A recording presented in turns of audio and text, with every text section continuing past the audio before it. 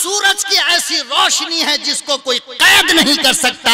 तो अजमत मुस्तफ़ा को कोई माई का लाल बयान नहीं कर सकता। बेशक हक है। अरे इसीलिए तो दुनिया का सबसे अजीम मौर्रिख शेख सादी को कहना पड़ा। शेर देखे कि न तेरा है न मेरा है यह हिंदुस्तान सबका है। न तेरा है, न मेरा है। ये हिंदुस्तान सबका है। नहीं समझी गई ये बात तो नुकसान सबका। जो इसमें मिल गई नदियाँ, वो दिखलाई नहीं देती महासागर बनाने में मगर एहसान सबका। ये अशफाक साहब जो माहौल बना के गए, आइए मैं नाते पाक के चंद शेर पढ़ता हूँ, उसके बाद आपके आखिरी मुकर्रिर। मैं एक एक शख्स को कहता हूँ कि दोस्तों, आप हिलने की कोशिश न कीजिएगा, जाने की कोशिश नहीं कीजिएगा। दस पाँच मिनट आपको ऐसा लगेगा कि कारी साहब शायद ताव में नहीं आए, लेकिन उनकी बैटरी जब गर्म हो जाएगी, उनके माथे पे जब पसीना आ जाएगा तो समझ जाइएगा कि बैटरी सौ पॉइंट चार हो चुकी है, फिर आपका वो काम मुकम्मल कर देंगे। जो कि एक ऐसा खतीब है वो कि सना खानी भी करना जानता है, नात खानी भी करना जानता है। अररिया और नरपतगंज के लोग मर जाए तो सलीके से कुरान खानी भी करना जानता है। ठीक है? तो आप इस चीज़ से बच के रहिएगा और इंशाल्लाह ये होगा। तो मैं बच्चियों के हवाले से एक शेर पढ़ता हूँ। अहयालुल का एक मिशन। कि महक रहा है दिलों का जहान बेटी से। बोलिए सुभान अल्लाह महक रहा है दिलों का जहान बेटी से। जमाने भर में बढ़ी घर की शान बेटी से। ये ज़रूरी नहीं कि बेटों से नाम रोशन हो। मेरे नबी का चला खानदान बेटी से। ये ज़रूरी नहीं कि बेटों से नाम रोशन हो। मेरे नबी का चला खानदान बेटी से। आइए मेरे दोस्तों, हम यहाँ से बड़ी तेज़ी के साथ मुसाफत तय करते हैं। बेंगलौर की सनाती सरजमी पे पहुँचते हैं। वहाँ जाते ही दरियाए सुखन में गोता लगाते हैं। गोता लगाते ही एक सदफ निकालते हैं। सदफ का जब मुँह खोलते हैं तो उसमें एक प्यारे खतीब का नाम निकलता है, जिसे दुनिया खतीब दिशान, दी सलाहियत, हर दिल अज़ीज़, करोड़ों के मजमा में संजीदगी बख्शने वाला अतीब ऐवान बातिल में जलजला बर्पा करने वाला अमीर शहनशाह फ़िक्र तदब्बर आबरू खिताबत के ताबा जनाब हज़रत अल्लामा मौलाना जमील साहब कासमी दामत आलिया का नाम आता है। मैं इस वक्त उनसे गुजारिश कर रहा हूँ कि हज़रत तशरीफ़ लाए और अपनी ईमानी, इरफानी हकानी तकरीर से खाबिदा कौम को बेदार करे। इस शेर के साथ हज़रत का इस्तकबाल है कि दिलों में जुस्तजू बढ़ती है और तनवीर होती है। बोलिए सुबहान अल्लाह। दिलों में जुस्तजू बढ़ती है और तनवीर होती है। सभी मुर्दा दिलों में ज़िंदगी तहरीर होती है। अरे दलाइल जब ये देते हैं तो अकल तंग रहती है। हमारे शेख की कुछ इस तरह तकरीर होती है। अब जनाब शेख है, माइक है, रात है, फैसला आपके हाथ है। मैं तो कुछ भी नहीं, पर तुझको भला लगता हूँ। मैं तो कुछ भी नहीं पर तुझको भला लगता हूँ। क्या बात। आशिकी में इसी अदा को अदल कहते हैं। क्या बात है। अदा को अदल। अपने दामन में जगह दे के बढ़ा दी इज़्ज़त। अपने दामन में जगह दे के बढ़ा दी इज़्ज़त। वरना इंसाफ से पूछो तो कफे खाक हूँ मैं। क्या बात है।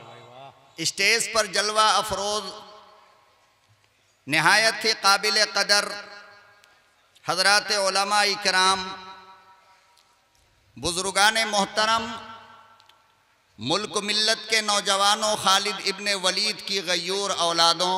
अल्लाह अकबर अल्लाह अकबर। मेरे प्यारे अज़ीज़ बच्चों पर्दा नशी मेरी लाडली माँ और बहनों जनाब सदर जलसा और नाजिम जलसा की इजाज़त से चंद बातें आपके सामने इस बेरगबती के आलम में कहना चाहता हूँ। आपने जिस तरह मेज़बानी के फ़राइज़ अंजाम दिए, वो कुछ अच्छा सा मालूम नहीं हो रहा है। मैं कहता हूँ कि दुकानों पे बेमानी होटलों पे ना इंसाफी खेत खलियान में ना इंसाफी यारो कम से कम जलसे में तो इंसाफ करते। क्या बात है भाई वाह। जिस रगबत के साथ जिस चाहत के साथ नाथ खां हजरात को आपने सुना कम से कम एक घंटे का इंसाफ मेरे साथ कर दिया होता। तो शायद दूर से आने वाला ये मुसाफिर अपने दामन में इस गाँव से हीरे जवाहरात की दौलत लूट कर चला जाता। क्या बात। अररिया की सरजमीन ऐसी नहीं है जैसी आज नज़र आ रही है। बात क्या हुई वजह क्या है ये मैं नहीं जानता। लेकिन इस आलम में भी हज़रत मौलाना इस्माइल शहीद रहमतुल्लाह अलैह का एक वाकया याद आता है। और उसकी इब्तदा में अगर पूरा स्टेज खाली हो जाए, पूरा मजमा यहाँ से चला जाए और मेरा नाजिम सिर्फ़ बैठा हो तो इंशाअल्लाह मैं अपनी वही तकरीर करूँगा जिस लेकर आया हूँ, जिस नियत से आया हूँ। मौलाना इस्माइल शहीद रहमतुल्लाह अलैह जामिया मस्जिद में जुमे का बयान देकर निकले तो गाँव का देहात का एक आदमी नमाज़ के बाद हज़रत जब सीढ़ी से उतरने लगे तो अचानक सामने आकर खड़ा हो गया और कहा कि अजी इस्माइल मैं इतनी दूर से चलकर तेरे बयान सुनने के लिए आया तूने बयान ही खत्म कर दिया। दिल्ली जामिया मस्जिद की वो सीढ़ी आज भी अपने वजूद के साथ मौजूद है। हज़रत ने फरमाया कि बैठो और आप सीढ़ी पर बैठकर मुकम्मल बयान जुमा उस एक आदमी को सुनाया है। अल्लाह अल्लाह अल्लाह। ये मैं ये नहीं कहता कि आपका जाना बदनसीबी है या आपका यहाँ रहना खुशनसीबी है। इसलिए कि बदनसीब कौन है? खुशनसीब कौन है? ये सनद बांटने का हक हमारा नहीं ये हक सिर्फ़ अल्लाह को। क्या बात है बेशक। मैं जाहिरी तौर पर आपसे सिर्फ़ इतनी दरखास्त करूँगा कि थोड़ा ख्याल मेरा भी कर लो कमज़ोर आदमी हूँ सामने नज़र आएगा तो कुछ कायदे से बोल पाऊँगा खुशी में बोल पाऊँगा और अफरा तफरी का माहौल होगा उठने बैठने का माहौल होगा तो ज़रा मसला खड़ा होगा बहरहाल। आपके जलसे का उनवान है जलसे सीरतुन्नबी सल्लल्लाहु अलैहि वसल्लम। नहीं बोलेंगे। सल्लल्लाहु अलैहि इतनी आहिस्ते। सल्लल्लाहु अलैहि वसल्लम। और इसलाह मुआशरा कॉन्फ्रेंस।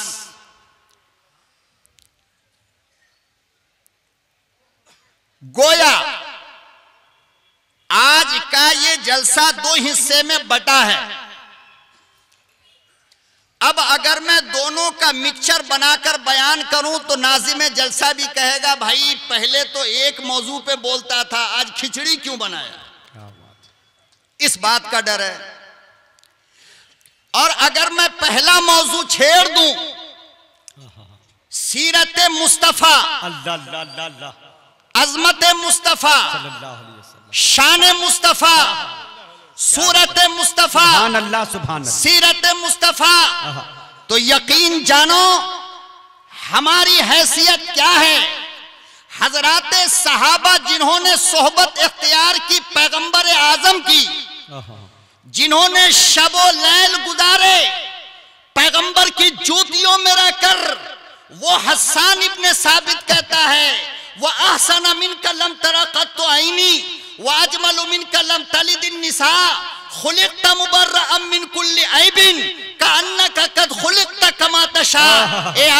के दुर्रे तेरे हुस्न के बयान के लिए इंसानियत तो खत्म हो सकती है, कयामत तो आ सकती है, समंदर की रोशनाई खत्म हो सकती है दरख्तों के कलम टूट सकते हैं लेकिन तेरे माथे का हुस्न बयान नहीं हो सकता! लिखा नहीं नारे तकबीर नारे तकबीर आजमत रसूल मोहब्बत रसूल। वाह भाई वाह वाह वाह वाह इशारा समझो। क्यों मैं ये बात कह रहा हूँ? इसलिए कह रहा हूँ कि जो काम खालिक करे मुजाहिद भाई जी जो। जो काम खालिक करे। मखलूक के बस का नहीं है। क्या बात है। जो काम खालिक करे हाँ, हाँ, बोलो। मखलूक के बस का नहीं। आज तो बोलोगे तब हम बोलेंगे। क्या बात है। जो काम खालिक करे मखलूक के बस का नहीं। नहीं है। बारिश खालिक बरसाता है। मौलवी बरसाएगा? नहीं। रात और दिन खालिक लाता है ले जाता है। हम जैसे करोड़ों मौलवी ये काम कर सकते हैं? नहीं। खालिक बच्चा देता है लेता है। क्या बात है। हम कर सकते हैं? नहीं। हाँ ये चार कौड़ी के पीर लोग बोर्ड लगाएँगे। यहाँ बच्चा मिलता है। अठारह अंगूठी इस हाथ में अठारह अंगूठी इस हाथ में लंग बलंग छोले में भंग। ना नमाज़ ना रोजा और बेटा देने के लिए बैठ गया।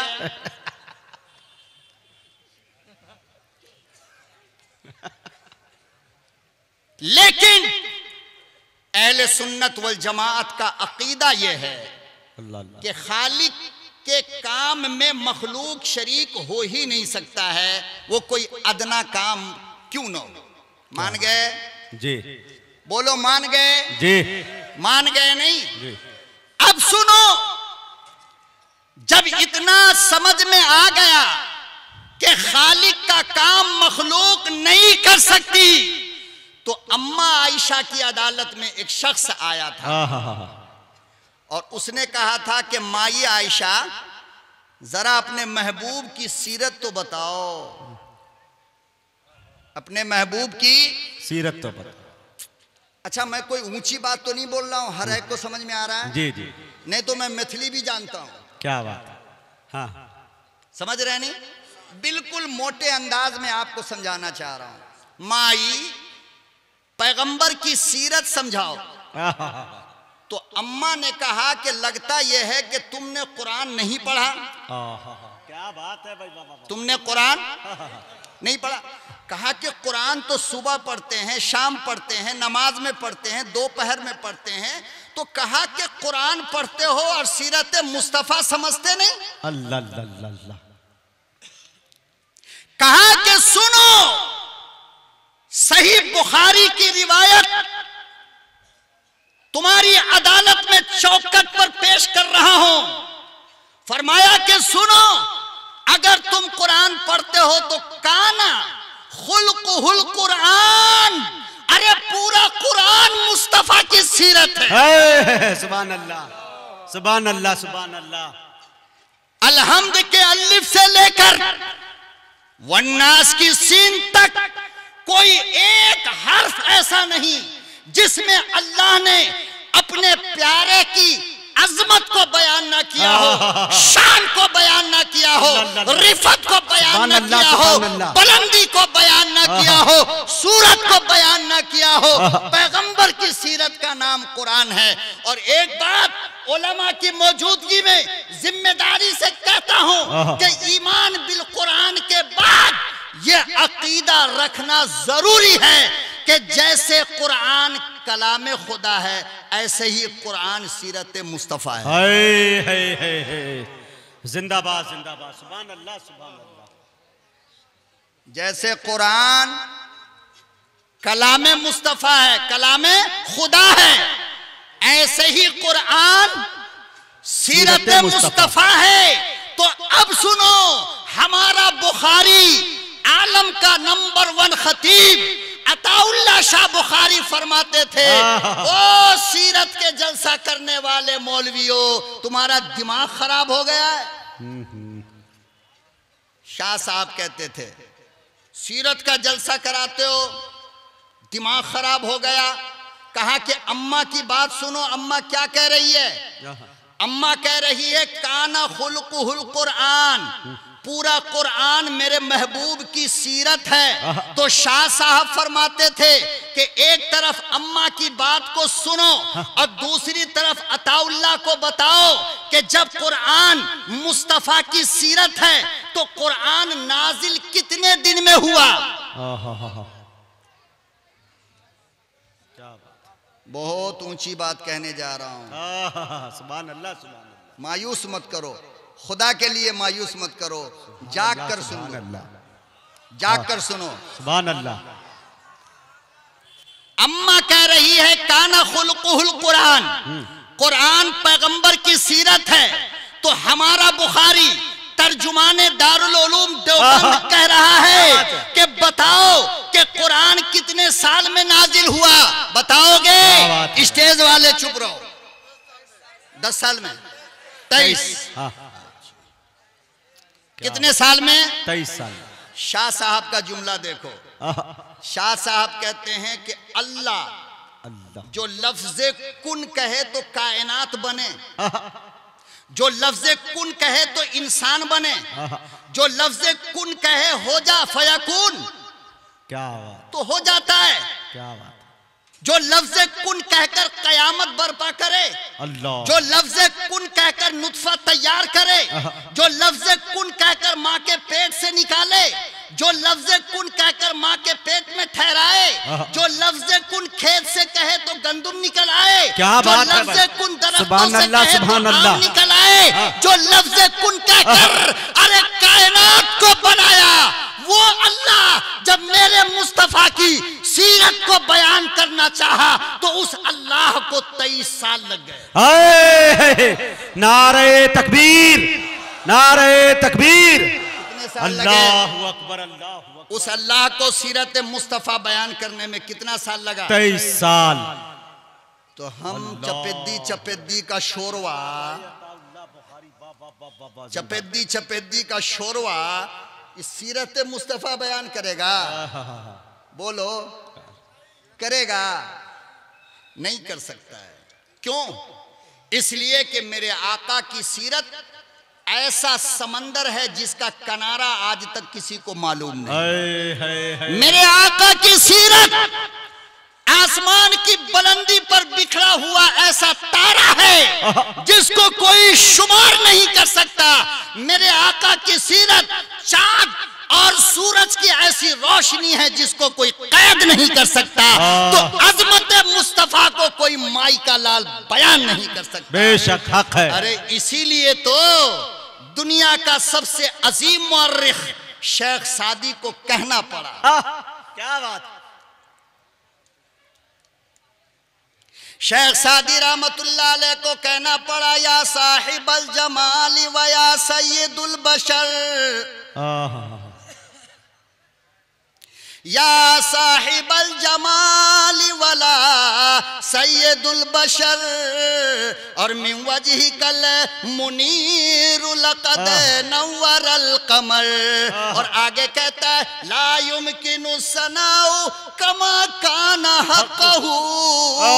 ओ बादज खुदा बुज़ुर्ग तो ये किस्सा मुख्तसर शेख सादी कहता है मेरे आका तेरी सूरत को बयान कैसे करूँ? तेरी सीरत को बयान कैसे करूँ? तेरी अजमत को बयान कैसे करूँ? तेरा चलना बयान कैसे करूँ? तेरा बैठना बयान कैसे करूँ? तेरा गुफ्तगू का अंदाज बयान कैसे करो? तेरा खाना बयान कैसे करो? कहता है। मेरे मुस्तफ़ा तेरी जात तो वो जात है जिसको बयान करना इंसान के बस की नहीं। बस मैं इतना कहकर कलम तोड़ देता हूँ कि अल्लाह के बाद मकाम तेरा शान तेरी। अल्लाह अकबर।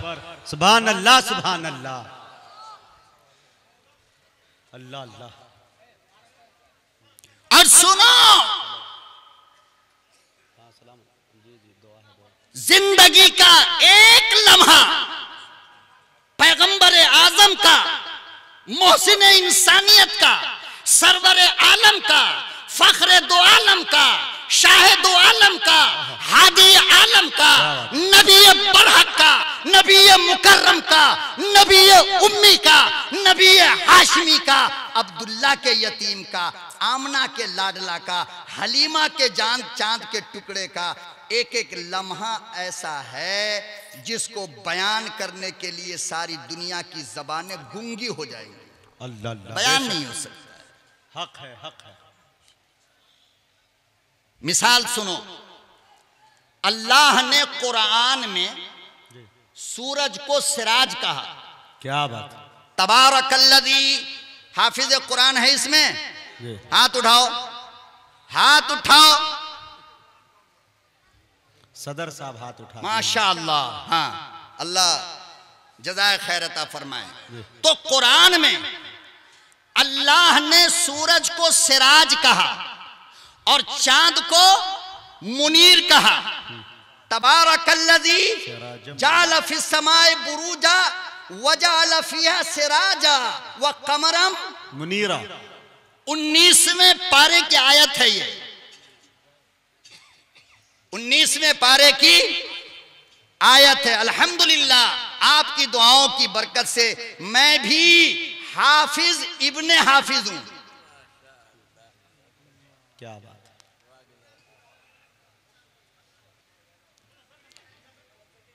तो सूरज को कहा सिराज। और चाँद को कहा मुनीर। जब मेरे आका का नंबर आया जब मेरे आका की बारी आई मुजाहिद क्या बात तो तने तनहा मेरे महबूब को अल्लाह ने सिराज भी कहा मुनीर भी कहा। क्या बात है भाई क्यों? वदायन इलल्लाहि बिइज़्निही। व सिराजम मुनीरा। बोलो। क्या बात है, मुनीरा? बोलो। यहाँ यहाँ अल्लाह कह रहा है चाँद मुनीर है सूरज सिराज है। जब अजमत मुस्तफ़ा का नंबर आया हुस्न मुस्तफ़ा को बयान मेरा रब करना चाहा। तो कहा कि सुनो मेरा महबूब आमना का लगते जिगर सिराज भी है मुनीर भी है। ए मुसलमानों अल्लाह क्या समझाना चाह रहा है? अरे मौलवी से सुनो अल्लाह ये बताना चाह रहा है कि चाँद सूरज दोनों मिलकर मेरे महबूब के हुस्न का मुकाबला नहीं कर सकते। सुभान अल्लाह सुभान अल्लाह ये है सीरत मुस्तफ़ा। दोनों मिलकर मेरे महबूब के हुस्न का मुकाबला नहीं कर सकते। मैं सही रास्ते पे जा रहा हूँ या नहीं? जी जी। सुभान अल्लाह समझ रहे नहीं? समझाता रहूँ रुलाता रहूँ जगाता रहूँ बैठाता रहूँ या भगाता रहूँ? क्या?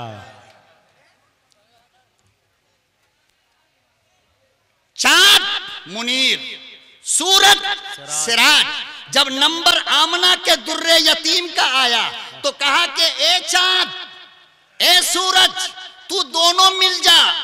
मेरे महबूब के हुस्न का मुकाबला कर। कयामत तो आ सकती है मेरे हुस्न मेरे महबूब के हुस्न का मुकाबला नहीं हो सकता। बोलो। नहीं हो सकता। मेरे महबूब के हुस्न का मुकाबला नहीं हो सकता। अजीब बात है। अजीब बात है। हमारे हुस्न की तारीफ़ अम्मा करेगी। हमारे जमाल की तारीफ़ अब्बा करेगा। हमारे हुस्न की तारीफ़ यार करेगा। हमारे हुस्न की तारीफ़ बच्चे करेंगे, हमारे हुस्न की तारीफ़ उस्ताद करेगा, हमारे हुस्न की तारीफ़ पीर करेगा, हमारे हुस्न की तारीफ़ मुरीद करेगा। लेकिन ए लोगो, तुम कितने मुकद्दर के सिकंदर हो कि जिस पैगंबर की तुम गुलामी करते हो, उस पैगंबर के हुस्न की तारीफ़ खुद हुस्न का बनाने वाला कर रहा है। अल्लाह अल्लाह अल्लाह अल्लाह।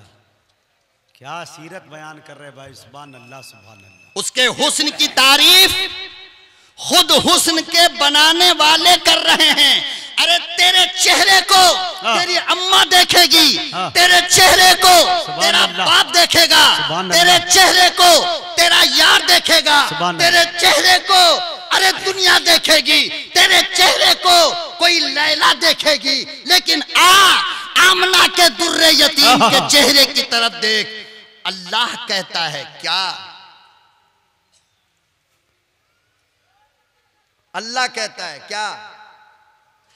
परवरदिगार आलम कुरान करीम के दूसरे पारे पहले सफ़े में कहता है फलन का किबलतन तरदा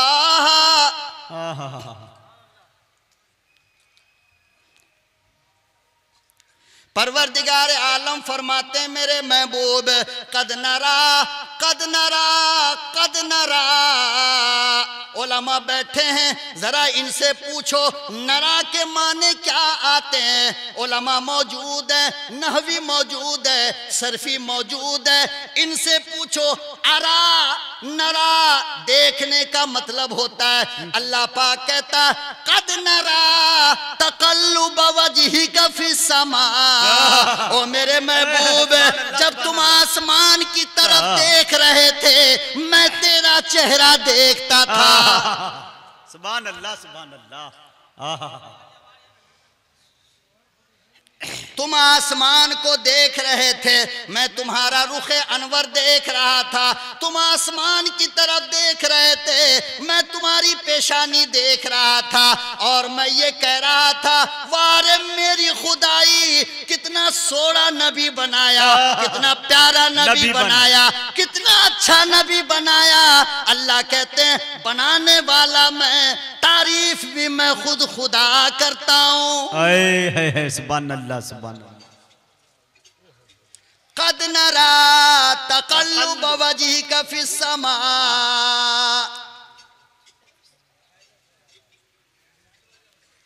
सीरत हुस्न मुस्तफ़ा चैलेंज नहीं दावा नहीं परवरदिगार आलम पर माँ के आंचल का सहारा लेकर बाप के तहज्जुद की दुआओं के सहारे यकीनी तौर पे कहता हूँ अगर हुस्न मुस्तफ़ा को ये नाचीज ये गुनहगार बयान करे तो तुम्हें ऐसे पचास जलसे करने पड़ेंगे। अल्लाह अकबर अल्लाह अकबर। है है है ये अपने असातिजा की जूतियों का सदका है। क्या बात। ये माँ बाप के तहज्जुद की दुआओं का फल है। ये बड़ों के आदाब का नतीजा है। ऐसे दस रातें तुम्हें करनी पड़ेंगी हुस्न मुस्तफ़ा को सुनने के लिए फिर भी बयान मुमकिन नहीं। हाँ।